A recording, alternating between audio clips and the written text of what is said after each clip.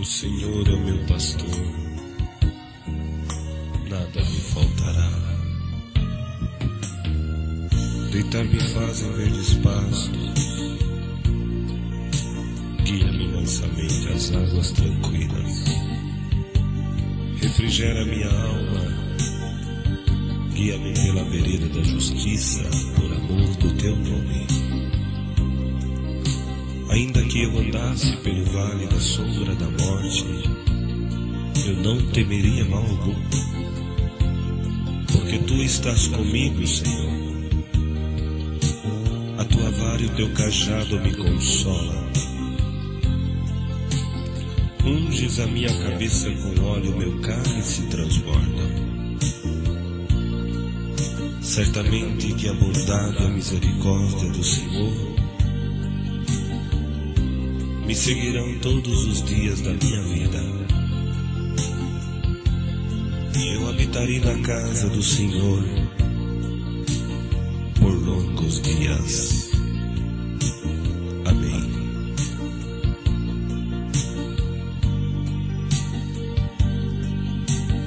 A mocidade deve a preparar para a velhice. É bem verdade que a dificuldade está muito grande, porque em cima de uma terra pecaminosa, cheia de tanta impureza, as ofertas, os pratos. Mas vos digo uma coisa: que este mundo é uma bola de cristal. Por fora é muito bonito, mas por dentro é oco, é morte, é condenação, é engano. Quantos entrou nesta ilusão e hoje estão gemendo? Aleluia o nome do Senhor. Porque lá no inferno Satanás fez uma reunião e disse para os seus adeptos: Eu já dominei a juventude. Quantas mães chorando, quantos pais no desespero procura seus filhos se encontra drogado, dominado com os vícios das drogas. Outros dentro de um hospital, o filho no isolamento com 19 e 20 anos, tomado pela, pela AIDS. Outros viciados na cocaína, outros suicidando, tirando a vida do outro Quanta tristeza, que lixo virou este mundo. Criança de 13 anos de idade já é mãe. Calabanassaraia, Jesus. Mocidade acorda. Isso tudo é momentâneo. O prazer da carne é segundos e depois acabou. Na hora que você tiver como um tapete, na hora que você estiver julgado, acabou. Os teus amigos te abandonam, a tua família não pode estar junto de você. Você ficará no isolamento e acabou a tua juventude.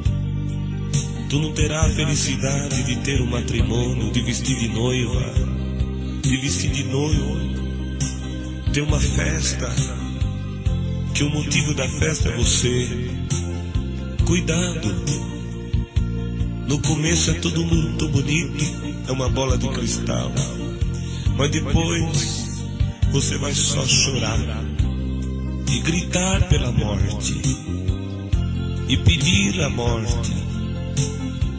Você não nasceu, não foi para ser derrotado nem derrotada. Para começar, quando tu estava no ventre da tua mãe, houve uma promessa de Deus na tua vida, que quando que tu era formado no ventre da tua mãe, e que eu formava as tuas pernas, eu conversava com meu filho Jesus. Estas pernas vai andar na minha obra. Eu formava o teu corpo e falava: Isso aí será o templo e a morada do meu espírito. Eu formava as tuas mãos, eu dizia: Estas mãos vai tocar um órgão. Eu formava os teus lábios e diria assim: Eu vou ungir estes lábios como a tenaz uma brasa viva tirada do altar. Terá o dom da pregação, terá o dom da revelação. Ungirei esta cabeça. E porventura Satanás não tem ódio de ti? Quer te destruir, quer acabar com você. Acorda enquanto é tempo. Este mundo está condenado. Pois lá no inferno, Satanás na reunião dizia: está tudo dominado. Dominei a juventude, cortei com os planos. Só que tem uma coisa: um dia houve um silêncio no inferno. Kalananasuinaia. Porque numa reunião da mocidade, a juventude estava tomada pelo Espírito de Deus. Um dava glória, outro falava na linguagem dos anjos, outros contava obra, outros pela minha palavra era-lhe prometido uma grande exaltação. E Satanás soltou o último cartucho. Vamos criar uma música de sucesso. Que esta até os crentes nós vamos dominar. Como? Fizeram uma música por nome de Tá Tudo Dominado. E começou a dizer: Tá tudo dominado. E quantas jovens, quantos jovens cantaram e dançaram, não sabendo que Satanás lançou esse cartucho na intenção de dominá-los. Mas juventude de Deus, acorda. Clama o sangue de Cristo Jesus, porque vocês serão dominados pelo Espírito Santo de Deus. Você será dominado pela virtude, pelo dom, pela linguagem, pelo desejo de fazer uma visita, pelo desejo de ver milagres, de ver obras na terra. Acorda, porque o dom de Deus está dentro do teu coração. Não faças como uma moça que o meu companheiro que atende a obra de Deus nos presídios num domingo que ele foi entrando para atender um culto no presídio, ele foi passando perto de uma cela. Tinha oito rapazes e uma moça loira de 23 anos de idade. E a moça deu um grito e falou: Irmão, por favor, eu quero uma, ter uma palavrinha com o Senhor. E o meu companheiro chegou e falou: Pois não, filha, pode falar. Falou: O senhor é crente de qual igreja? Ele falou: Da congregação cristã no Brasil. Ela começou a chorar, um choro de desespero. Custou conseguir falar alguma coisa. E de repente ela falou: Eu quero um minuto da tua atenção. Eu quero contar para o Senhor que quando que eu era mais nova, a minha mãe arrumava roupa para mim. E nos domingos de manhã me mandava para reunião de jovens e menor. E quando que eu chegava, eu não pegava recitativo. Na oração eu ficava com o olho aberto, passando o bilhetinho para os moços. Eu tirava a caneta e começava a atacar papelzinho no cooperador de jovem lá no púlpito. Dava risada de todos. Eu ia só para namorar. E foi passando os dias. Quando chegava o dia da reunião da mocidade, eu falava, mamãe, é a reunião da mocidade. Eu quero aquela roupa lá no shopping. Pegava a roupa mais cara, o sapato. A minha mãe não podia, mas ela fazia de tudo, porque era para me louvar a Deus, ela comprava para me incentivar. Eu punha aquela roupa, saía bonita. No meio do caminho, eu enganava minha mãe. Encontrava com as minhas amigas, ia para o cinema. Depois ia para o bar beber. E quando dava o horário que terminou a reunião, eu chegava na minha casa e a minha mãe perguntava se estava boa a reunião. Eu falava que estava. Eu inventava uns testemunhos, eu inventava a palavra.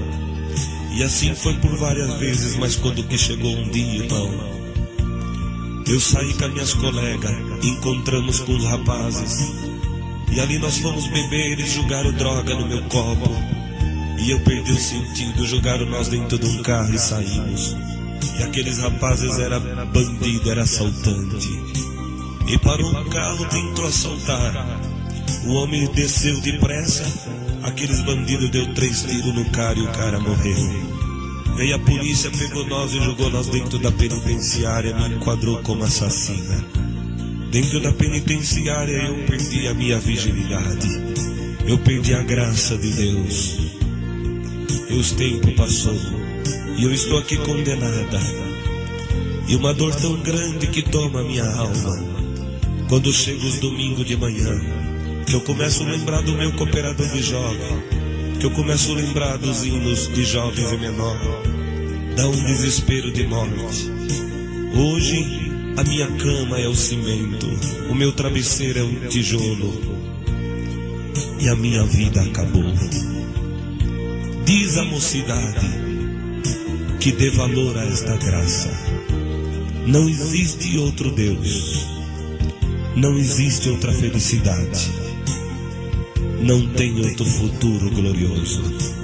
A graça de Deus é para a eternidade. Mocidade, acorda enquanto é tempo. Deus proverá. Amém.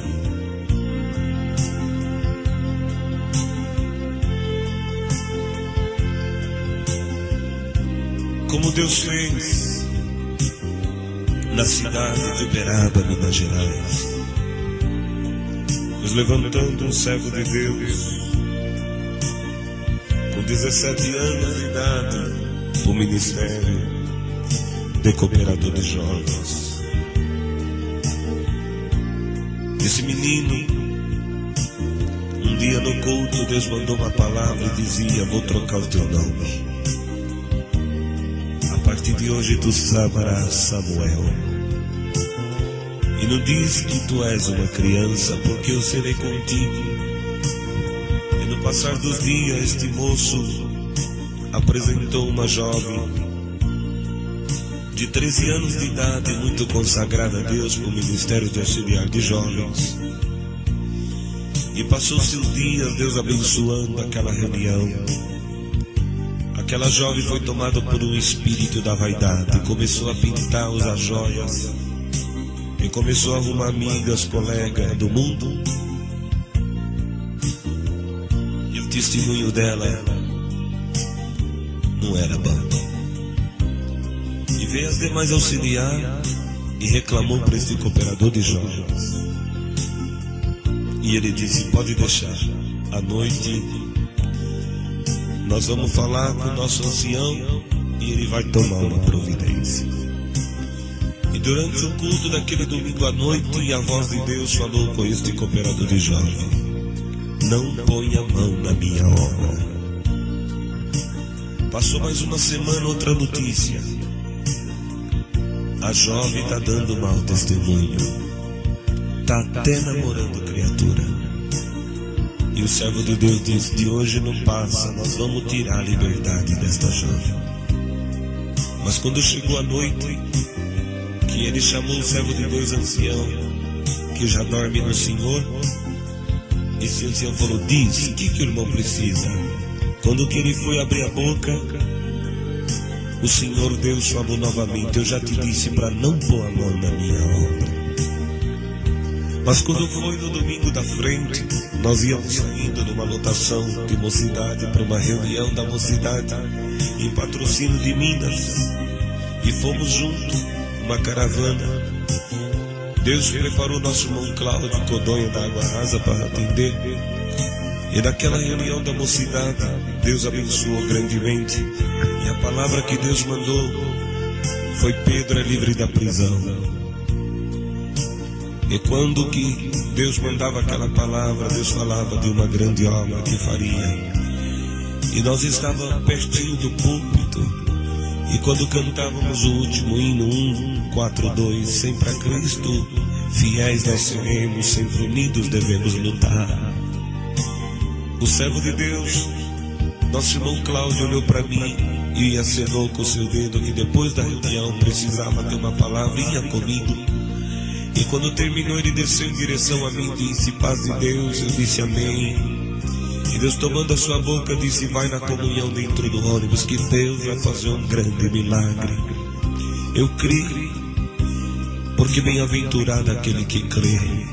Entramos dentro do ônibus, e quando entramos na rodovia, começamos a cantar bem baixinho em 142 e a virtude de Deus foi nos tomando. Um dado momento ouvi a voz de Deus dizer: Meu servo, você crê que eu estou aqui dentro desse ônibus? Eu falei: Creio. Você crê que eu vou entrar aqui dentro e vou batizar almas com a bendita promessa do Espírito Santo? Falei, creio, Senhor.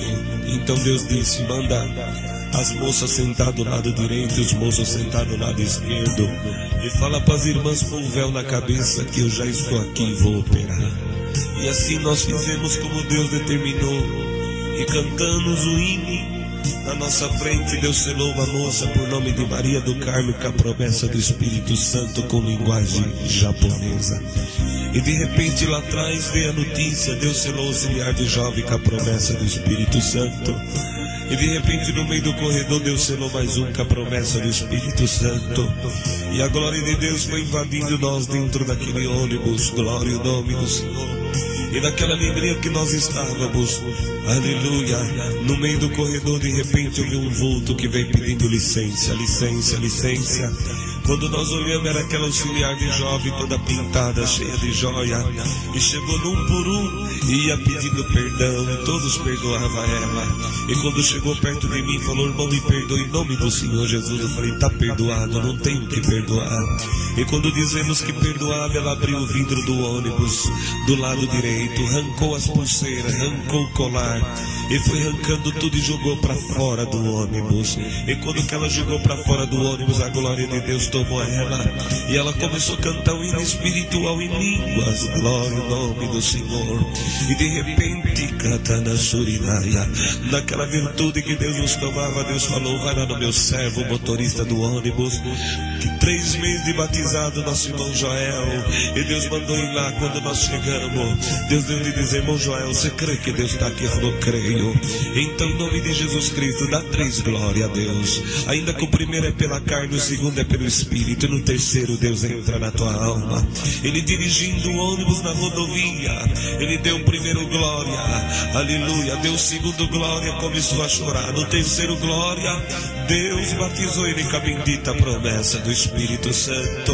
A virtude continuou nos envolvendo dentro daquele lugar, porque Deus não, não mede distância, Deus não pede licença para ninguém para operar, como Ele está operando aqui dentro desta casa agora, e está operando, vai operar onde você estiver ouvindo esta fita, não importa que você esteja numa rodovia, dentro do ônibus, dentro do teu quarto, numa angústia de morte tomando o teu coração, a tua alma, você tem que lembrar que Deus que criou os céus e a terra foi Ele que te formou, Ele manda no céu, Ele manda na terra, Ele manda nos anjos, Ele manda no inferno, manda em tudo, e vai mandar esta pedra sair do teu caminho em nome de Jesus Cristo, porque o Deus que gerou, o Deus que te formou, Ele formou você para cantar, e hoje você vai cantar pela virtude da revelação do seu Santo Espírito, porque tem três dias que você não dorme, mas em nome de Jesus Cristo, ah, gente, o sono da paz, da misericórdia, a tua boca começa a dar glória a Deus agora, e cada glória que você dá,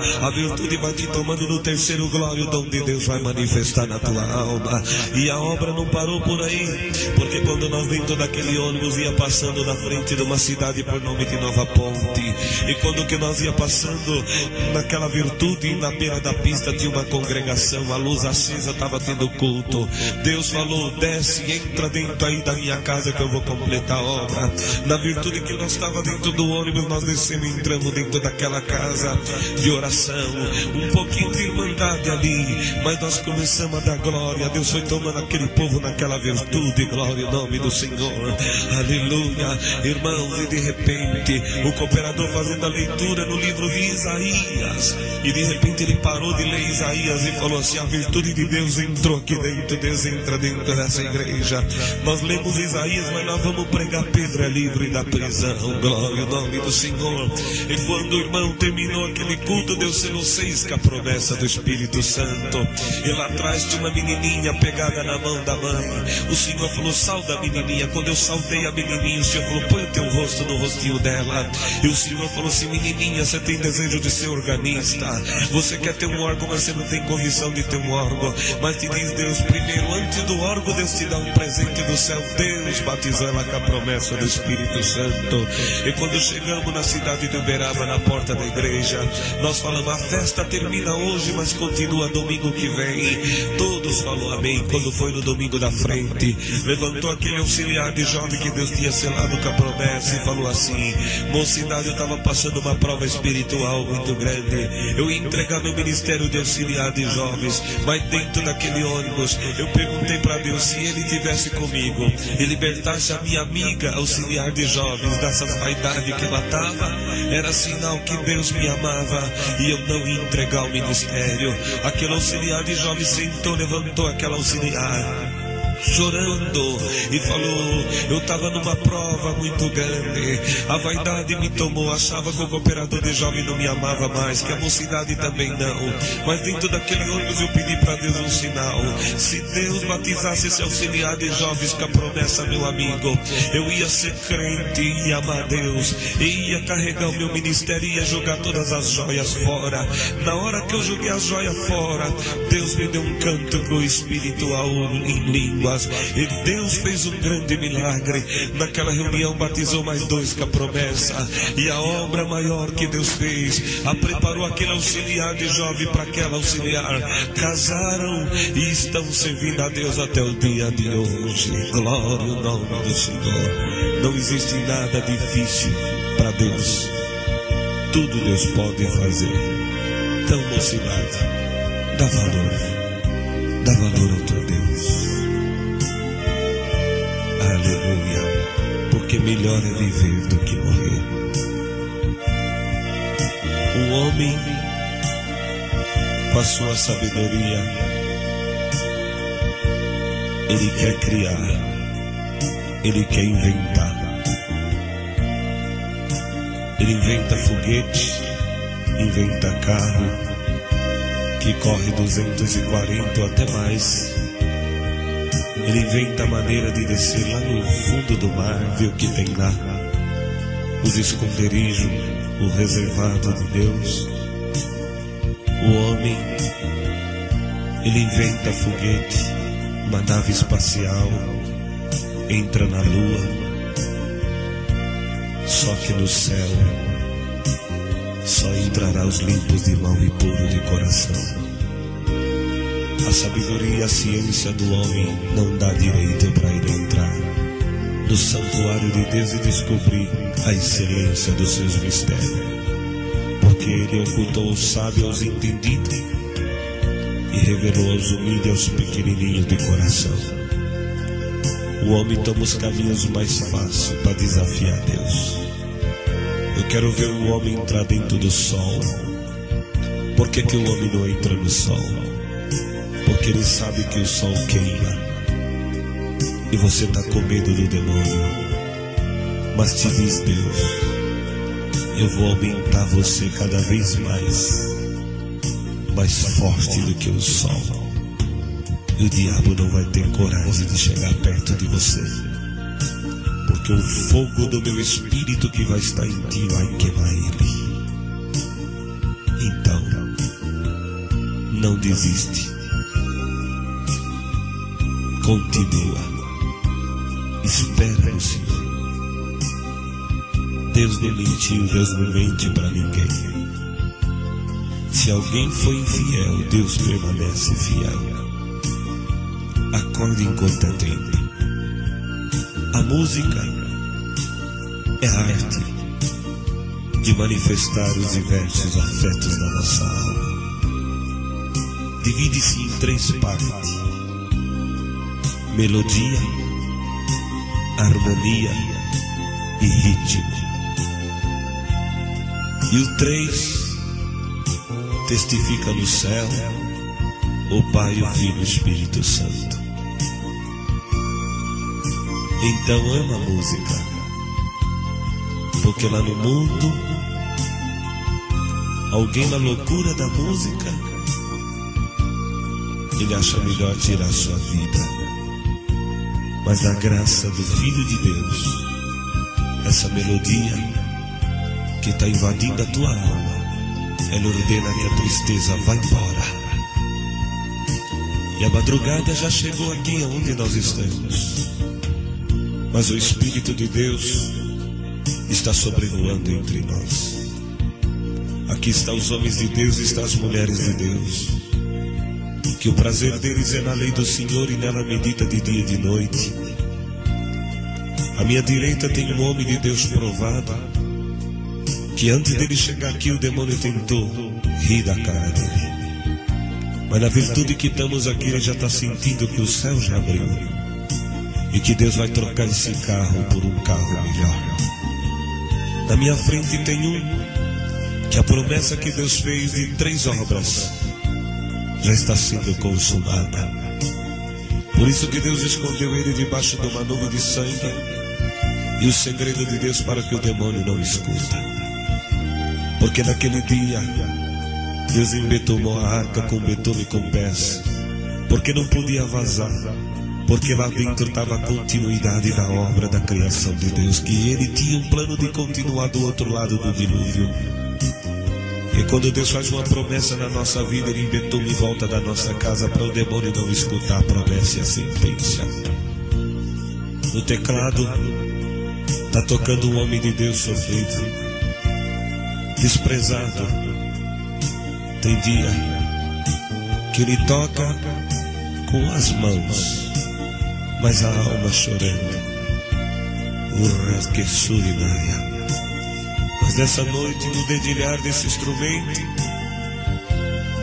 cada nota que ele toca, os anjos estão fazendo festa no céu. E uma preocupação será o que está gerando no ventre da minha esposa é a obra do milagre. Porque um dia o Espírito falou que ia te fazer você ficar louco. A loucura ia te tomar e você ia parar dentro do manicômio. Mas escolhido de Deus não fica louco. Louco tá demônio. Que não achava danaia. Não esperava que Deus fazia uma obra tão grande como Ele fez na tua vida. Espera, homem de Deus, que esse ano de 2002 Deus vai te surpreender. Tem três mulheres de Deus aqui também. Não dá para dizer o nome de todas porque não lembramos, mas Deus sabe. A mulher sabe edifica a casa, mas a tola destrói. E a sabedoria destas mulheres está edificando a casa. Por isso, o Senhor chama Ana, Marta e Maria. Glória ao nome do Senhor. Maria visitou Isabel. Bendita o Senhor. E na saudação a criancinha saltou no ventre. Ana tinha um desejo no coração. E Deus cumpriu o desejo do seu coração. Marta, muitos falou que ela escolheu, não escolheu a boa parte. Mas o amor de Cristo foi maior para com Marta. As três sabem edificar a casa e verá muitos milagres. Estas santas palavras é revelada pelo Espírito de Deus. Hoje, dia 20 do 3 de 2002.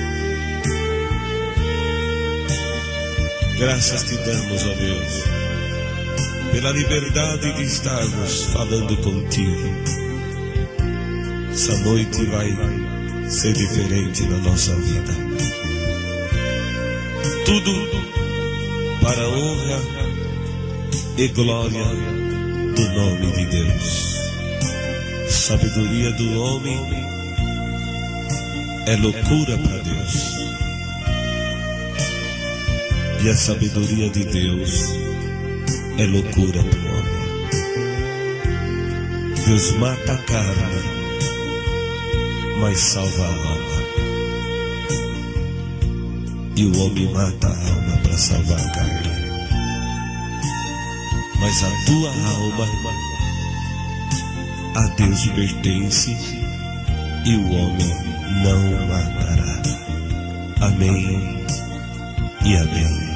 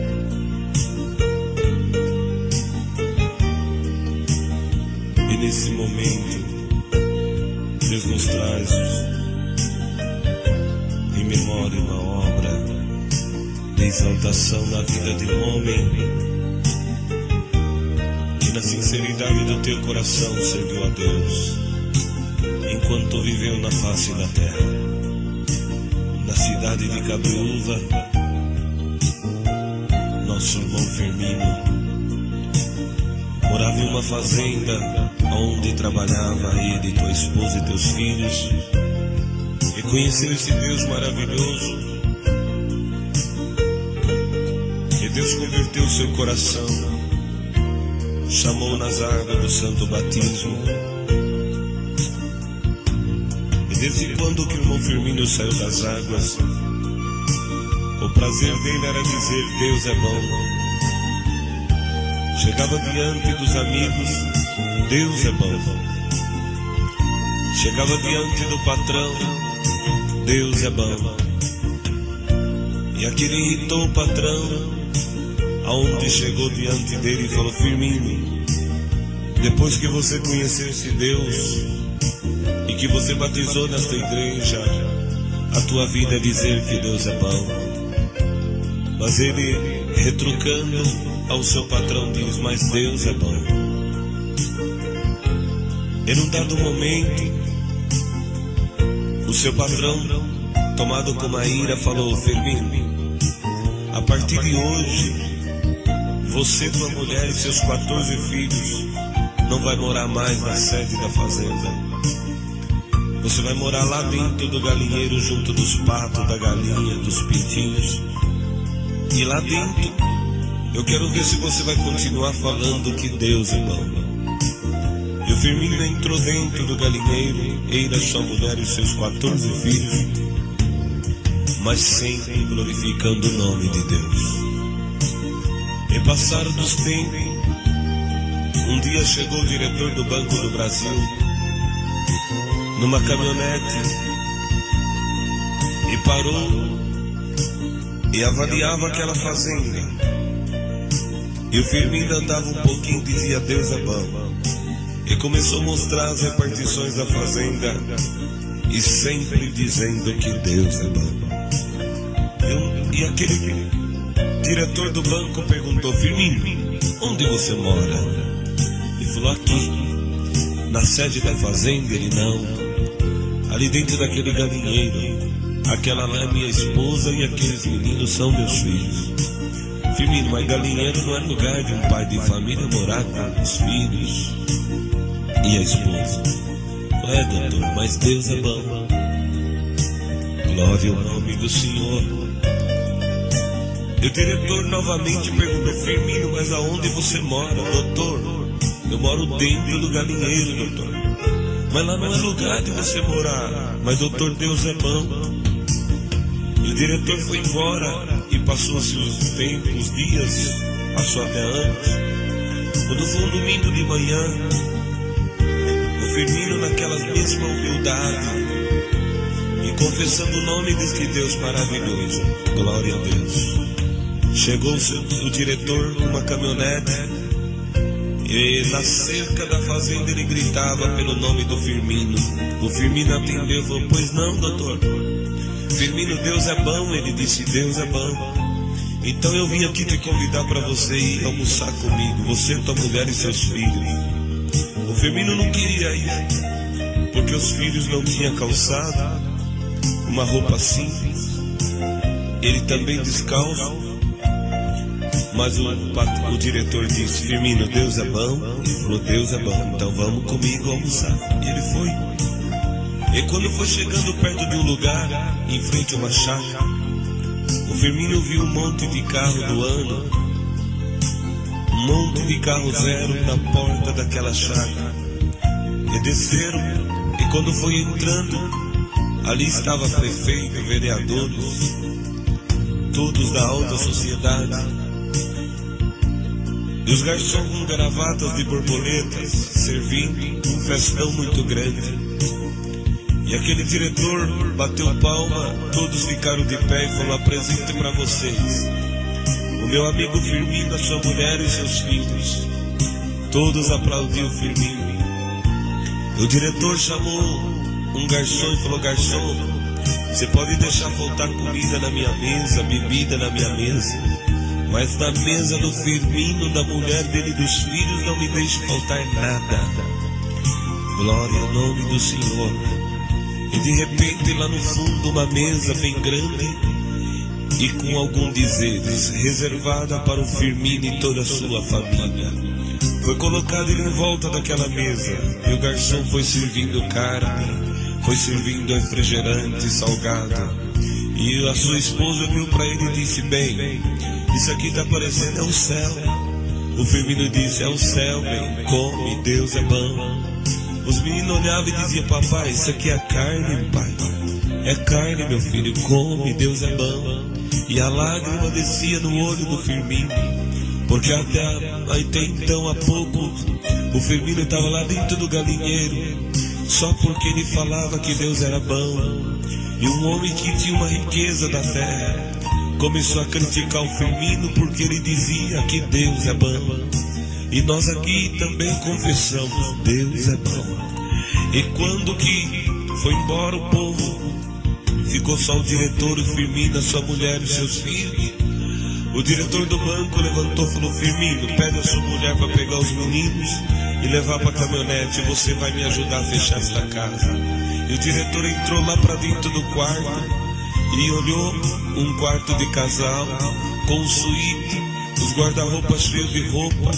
E o diretor falou: Firmino, este que é um quarto digno de um casal entrar e descansar da luta do dia a dia. Não é aquele galinheiro, não, Firmino. Mas o Firmino, com o olho cheio de lágrimas, olhou para o diretor e falou: É verdade, doutor, mas Deus é bom. E o diretor fechou aquele quarto, foi para o outro. Um monte de cama, um monte de beliche, tudo arrumadinho.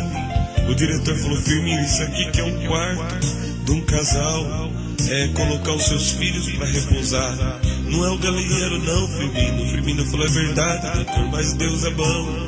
E fechou aquele quarto e foi para a cozinha. E lá na cozinha, uma geladeira toda cheia de tudo, o freezer todo cheio, o armário cheio e uma mesa bonita.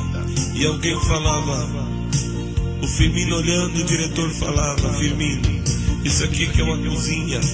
Para um dono de uma casa receber os seus convidados e servir a refeição. É verdade, doutor, Deus é bom. Foi para sala, estante, sofá, tapete, tudo completo. Firmino, isso aqui que é uma sala para receber os convidados dentro da sua casa, os seus amigos. É verdade, doutor, mas Deus é bom. E saiu, fechou ali, foi passando na lavanderia, máquina de lavar roupa, tanque de lavar roupa. Falou: Isso aqui que é um lugar da sua dona de casa cuidar das roupas e cuidar dos seus afazeres. É verdade, doutor. Deus é bom. E foram saindo para embora. Quando que chegou da saída da chácara, o diretor falou pro Firmino: Firmino, só dizer uma coisa. Eu vou embora e você não vai. Ele falou, não vou, doutor. Não. Por quê? Porque dois anos atrás eu fui lá naquela fazenda avaliar. E você falou para mim que Deus é bom. Todas as vezes que eu te perguntei, você falou para mim que morava dentro do galinheiro com a sua mulher e 14 filhos. E sempre dizendo que Deus é bom. Ele falou, é verdade, doutor, mas Deus é bom. Pois então, Firmino, o teu Deus que é bom, ele mandou eu, prefeito, os vereadores, construir essa chácara todinha para você. Tudo que você viu é tudo teu, Firmino. E agora vem aqui na frente, na entrada da chácara. Arranque esse pano aí. O Firmino foi, arrancou o pano, estava escrito: Recanto do Firmino. Quando veio do lado de dentro, o diretor falou: Firmino, arranque esse outro pano. O Firmino arrancou outro pano. Está lá escrito: Deus é bom. Porque Deus é bom. Tirou o Firmino do galinheiro, exaltou ele porque ele não negou o nome de Deus e colocou ele dentro daquela chácara. Deus preparou no ano de 1999, estivemos na casa do Firmino e ele nos contou essa obra. Vimos, apalpamos com as nossas mãos a grandeza desse Deus maravilhoso. E uma grande obra que vi também ali naquela casa foi na sala. Tinha um quadro estampado, escrito assim: O Deus dos deuses, Deus vivo da congregação cristã no Brasil. Tirou o Firmino do galinheiro e colocou dentro desta casa, porque o Deus do Firmino é bom. Os diretores assinou, prefeito, vereador, e está lá no mural pregado na casa do Firmino. Porque este Deus é bom. Amém. E amém.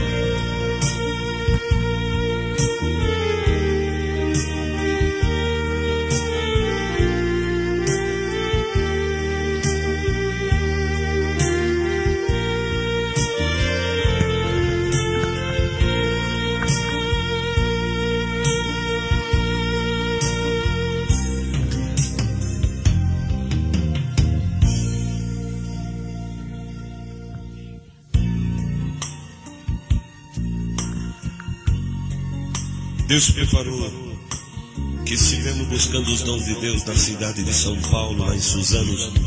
E junto de nós estava o nosso irmão Clóvis de Caraminguava, companheiro. E Deus a preparou. E na virtude que Deus nos proporcionou ali dentro daquela casa de oração, Deus preparou um homem de Deus, companheiro nosso, contou um milagre que Deus fez com ele. Ele foi trabalhar numa firma e nessa firma que ele começou a trabalhar, trabalhava uma moça por nome de Regina, secretária. E todas as vezes que ele entrava e falava bom dia, ela falava bom dia. No outro dia, boa tarde, boa tarde. E o tempo foi se passando. Aquela moça que sempre respeitou o homem de Deus começou a dizer oi e oi. Em vez de dizer bom dia com todo respeito, começou a dizer oi e foi se aproximando, foi conversando, foi entrando ali em intimidade. E de repente, quando que passou os dias, eles foram ficando tão íntimos que o homem de Deus esqueceu que ele era casado, tinha tua esposa, tinha teus filhos. E a Regina chegou perto daquele homem de Deus e falou: Vamos fazer o seguinte: no dia 30 você recebe o teu pagamento, eu recebo o meu pagamento. E nós vamos encontrar na Praça da Sé às seis horas da tarde. E quando nós não encontrar, nós vamos sair, nós vamos para um motel. E aí nós vamos pecar, você vai pecar. E nós vamos viver junto. E o homem de Deus, tomado por aquele espírito, esqueceu da santa que estava dentro de casa dos seus filhos. E pegou seu pagamento e foi para a Praça da Sé e quando lá chegou, olhava para um lado, para outro, a Regina não chegava. O tempo foi passando, a aflição começou a tomar o seu coração. E de repente ele olhou, seu sapato estava sujo. E quando que ele olha o menino de cor, com a caixa de engraxar sapato, sentado numa cadeira, aquele irmão, aquele homem de Deus pegou e sentou naquela cadeira, pôs o pé em cima da caixa de engraxate. Aquele menininho de cor abriu e começou a limpar o sapato do irmão. E ele olhando para a direita, para esquerda. E de repente aquele menino olhou para o olho daquele irmão, apontou o dedo no nariz dele e falou: A paz de Deus, meu irmão. Aleluia, o nome do Senhor. Ele levou um susto, falou amém. E de repente o menininho disse assim: Você está achando que porque eu sou um menininho de cor, estou aqui defendendo o pão de cada dia, tentando ganhar um leite para levar para minha casa, o pão para minha mãe? Você acha que não tem Deus na minha vida? Aqui tem Deus e tem o dom da revelação também. Aleluia, você marcou seis horas da tarde para encontrar com a Regina. Aleluia, ao encontro de vocês dois, vocês vão para um motel e você vai pecar e perder a tua alma. Mas aqui tem o dom da revelação e tem o dom de expulsar também. Colocou a mão na cabeça do homem de Deus e disse: Espírito de adultério, sai dele agora em nome de Jesus Cristo. Deus devolveu o dom da promessa do Espírito Santo. Ele saiu dali correndo, falando em língua, entrou num táxi, foi para tua casa, abraçou a tua esposa e Deus livrou ele da morte. Glória ao nome do Senhor. Deus aparece na vida do homem de Deus, nem que seja na última hora. Estas são as obras que Deus nos proporcionou, nos deu graça de contar. Damos graças a Deus por essa preparação de gravarmos estas santas obras e esse vinho sacro de louvor e súplica a Deus para a honra e glória do seu nome.